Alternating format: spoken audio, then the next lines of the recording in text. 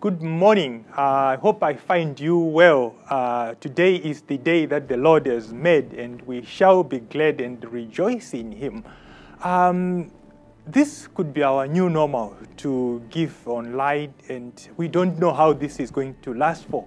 But um, I'd like to take this opportunity to just walk you through the process of doing your online giving uh, using your mobile devices. The process is the same whether using an Android or an iOS device.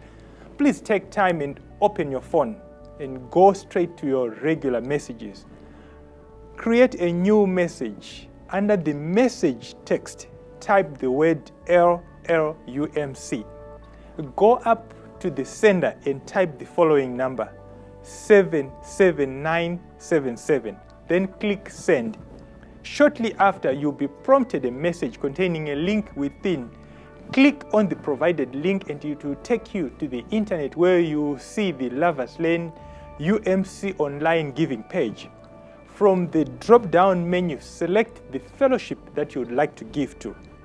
After that, type the amount of money that you want to give. You have to choose whether you want to do a one time giving or a recurring giving. Then continue. At this time, you will also be prompted to enter your first name and your last name, and then it will take you to the next page.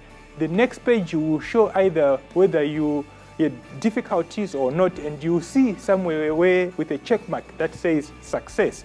Uh, if you have any questions, if you have any problems, if you have any trouble, feel free to call our pastors, feel free to call our treasures, feel free to call myself.